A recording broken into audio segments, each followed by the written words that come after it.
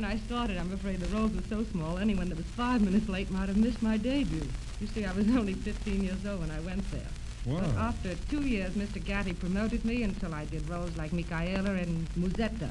Then after that, I was finally given star roles and made my debut as Ginevra in Cena delle Beffe with Gigli and Lawrence Tibbett. After that, I did Aida, Marguerite, Nedda, Cavalleria, many other roles. Too many, num- uh, too numerous to mention, really. Hmm. As you uh, reeled over that music there, Mr. Frogberg seemed to enjoy it. and now you're going to sing an old Coward tune, one which is a personal favorite of mine. I'm going to sit back and listen intently. Zigeuner. I'm glad you like it. I do too.